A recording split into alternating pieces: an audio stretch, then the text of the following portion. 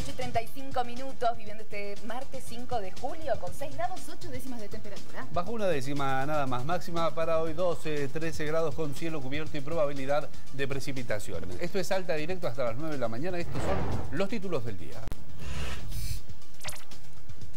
Macri, de nuevo en el norte, el presidente llegará a Jujuy el viernes para participar de la vigilia por los 200 años de la independencia que se realiza en Humahuaca.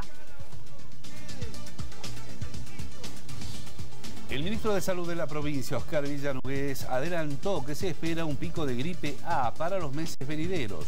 Se dará a lo largo de julio, a fines de agosto y la primera quincena de septiembre.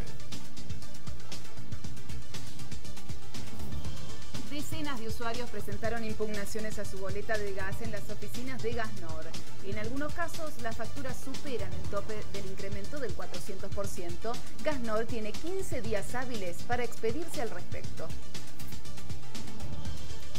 Las cámaras de diputados y de senadores conformarán una comisión que tendrá como objetivo analizar el impacto de los aumentos en las tarifas de gas, luz y agua. Además, emprender las acciones que considere necesarias en caso de detectar irregularidades en dichos incrementos.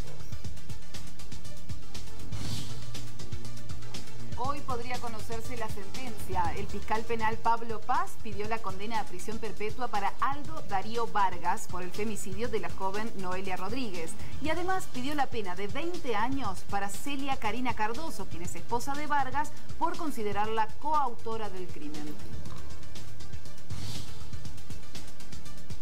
La música salteña de luto. Murió ayer Amalia Carral, quien fuera directora del coro de niños de la Escuela de Música desde 1989. Sus alumnos ofrecieron un concierto en su honor en la iglesia Nuestra Señora de Fátima.